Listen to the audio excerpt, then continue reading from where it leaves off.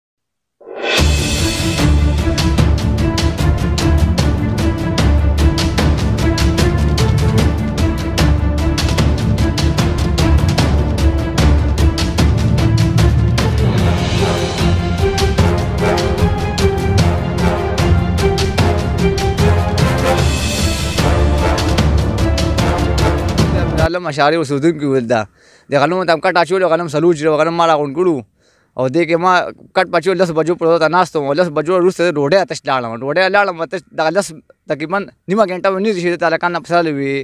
غنم نور واغشتو د وړو بلا هغه سره موږ په منډه رالو او په منډه راتلو کې ختم شو سوځېدلو هغه د پس موږ بیا د پولیس پسې لاړو د پولیس پسې هم لاړو تر بوساړم سوځېدلې و پولیس را په هغه راپورټ هغه ما سره ټول لاړل او موږ لاړو لار ته سوځېدلو بیا پسې دې خوا د درویشي غنم وو هغوی هم وسوځېدلي وو او پسې د نیازل چې هغه وو ذهني چې بوساړه هغه هم سوځېدلی او پسې نو دا غږ له کوم ځایه راغی موږ په دې نه پوهېږو دا په کوم ځای موږ پیدا کړو کوم ځای کې وګورو ټول غني مو لا ټوټه شپه ټول ښځې او سړي ټول لوتي وو خو سړی مې پیدا نه کړو اماني رپورټ کړی په چا هم نه دی کړی نو نوم نوم په چا دښمني شته نوم هېڅ هم نشته غریبانه خلکو ټاپي د دې خو د دې خو غم وو کې موږ غریبانه خلکو ته هم په دې څه کوو چا څوک بد هډې موږ ته دې ووایي سپا خبره ده کوم وسه نه نه غلو نه د چارو غریبانه خلکو مزدوري کوټو ټاټي کار کو دا د غنم کړي سلو جوړه او ځان په مړ کو اختر نه ختی وو او دا یو اپ توش وا زمانوم درویش ته د پټګرام او اشاره اوسیدونکو ما د پلار نوم په لربي دي او موږ دلته زمیداری کو د ازمکه دي د بچانو د موږ سره په نیمه دي موږ پکې خپل مهنت کو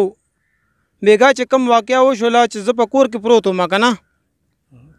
موږ ته هیڅ معلومات نو چیرې دا اور چا ولګولو خو لکه زما صرف دا مطالبه ده چې لکه دا اور چا ولګولو د دې له دا بل ځای نه څوک نه دي راغلي دا هم د دې علاقې کس دی هم د دې ځای دی ځکه چې یو ځای نه تاسو حساب وکړئ یو ځای دوه ځای درې ځای شپږ ځای کې بېګا شپه کې اور لګېدلی دی شپږ ځای کې بیګا ور لګېدلې دي او چې زه د یو ځای نه لاړ شم او مخ سره کس روچت شي او ور ولګي کنه نه لکه دا کس کم ځای کې پټیږي سر ور کې پروت ما چې ما بس خپل د تانه پولیس والا رنګ وکړو چې یاره تاسو غنم داسې وسوځېدل ما مې ورور ته ویل که غنم وسوځېده وی څنګه وسوځېده هم زه خو نیم خبر خو بس غنم وسوځېده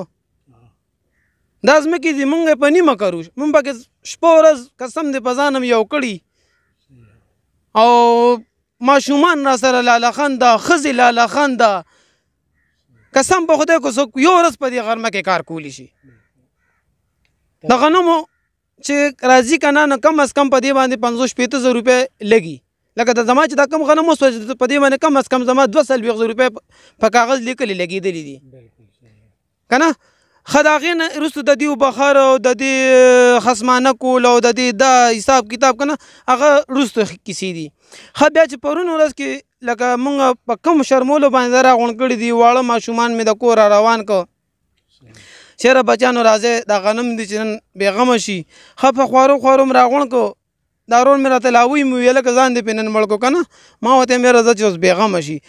ما هم ازانونه چې کول نه مونږ لا په پټي کې ناس هم ازانونه کول چې مونږ لاړو شپې لرا سره دا کار شو مونږ زه کورم زه کورم چې لکه ما پسې دا تاڼې نه پولیس والا را پسې رنګو کو چې را مونږ تاسو په پټي کې ولاړ یو تاسو غنم چا سیزلې دي او بیا داسې نه منې دوکار دی لکه یو ځای کې نه دی ور لګولې که نه یو ځای دوه ځای درې ځای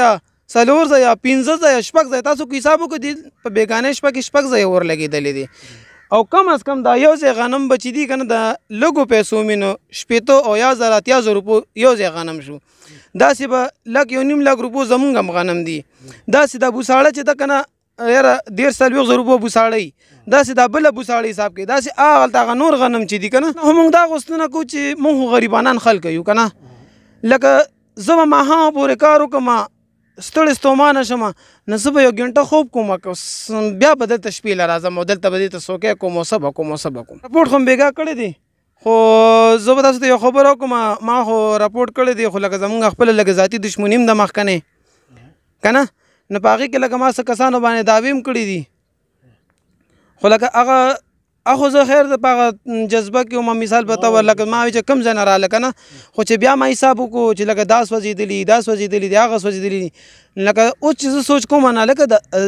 زما سره خدای دې کس دښمنی ده خو چې د میرالم سره څه کارو د میرالم دا غنه مې اولې سیزل دا داري لالا چې دی نو دا هم غریب سړی د سره خو چم دښمنی مشمنی نشته چې د ابو سړی ولې سیزل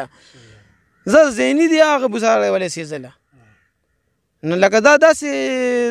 ناممکنه شان دی کار دی داسې بل شان دی کار را سره کړی دی سر نو نوم ریلار دی او بیګا دا اور لګېدلی دی او غنمانو سوځي بوساړین سوځېدلي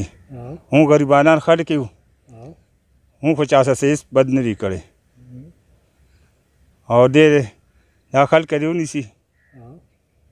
چې دا په څه وجه یو سوځېدلي رسې هم خو چا سره جاتې نه دی کړی نه چا سره بد کړي نه چا سره څه منې کړي دي بوساړه هم دې را راغونډه کړی هم دې بوساړه کړی هم دې سبا غنو د پاره چې دې په کار راشي فقیر دی